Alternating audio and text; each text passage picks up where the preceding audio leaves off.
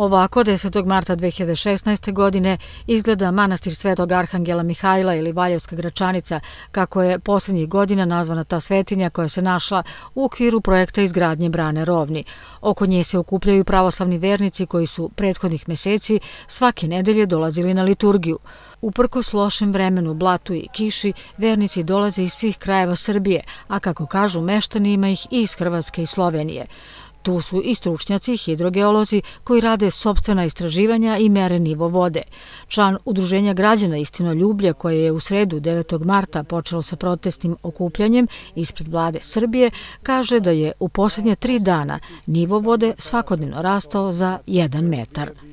Ako se nastavi punjenje, bilo bi ugreženi i podzemna jezera iz kojih izviru s jedne strane vrelo paklja, s druge strane svih sedam izvora graca pa pošto je taj kanjon Sušice šupalj kao Đevđir jer je to krešnjački ovaj, predeo, onda bi u kvalitetu izgubili sadašnje ovaj, vrelo paklje i reku Gradac i Valjevo ne bi imalo više pitke vode kao što imalo do sada.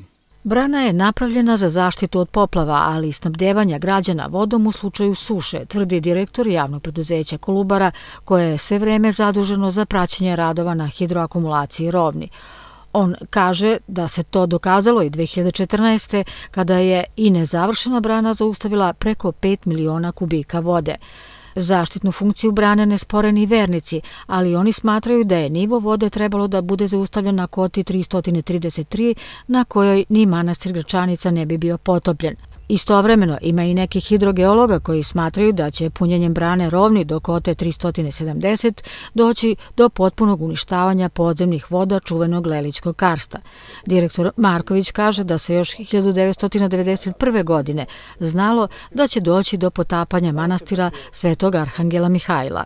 Zato se tog momenta stupilo u razgovore o strane države Srbije koja je, koja je većinski kapital svoj uložila u gradnju ove brane, znači 75, nešto posto, ili tačnije 75,62 procenta učešća državnog kapitala je u izgradnji brane. Grad Valjevo ima samo 7 procenata. E, moralo se sa Srpskom pravoslavnom crkvom dogovoriti oko izmeštanja, oko izmeštanja tadašnje crkve na neku novu lokaciju. Stručnjaci Zavoda za zaštitu spomenika kulture u Valjevu su tada rekli da je crkva sagrađena tako da se ne može razrušiti i napraviti njena replika, pa se 2010. godine izgradila nova crkva u Tubraviću. Srpska pravoslavna crkva je bila obaveštena o početku punjenja brane, ali se nije očekivalo da će nivo vode rasti tako brzo.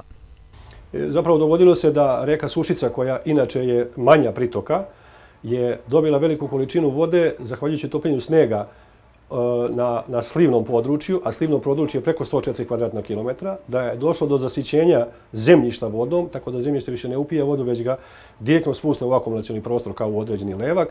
Tako da recimo, pošto mi berimo parametre svaki dan dotoka vode, brzinu protoka vode, količinu i tako dalje, ja ću vam izdati najsvežije podatke. Kada je došlo do potapanja dela, dela manastira, imali smo e, dotok vode u reci Sušici, e, u Sušici 2500 litara u sekundi. Znate, to je jako velika količina vode, to je ogromna količina vode.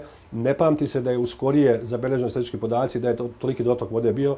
A primjer da vam kažem da je Jablanica recimo imala dotok normalno na 1800 litara u sekundi koja je mnogo veća i mnogo izdašnija, izdašnija rijeka kojom se puni akumulacija. Zato je tako došlo da umjesto da dođe do potapanja crkve u maju, došlo je do, do potapanja u martu.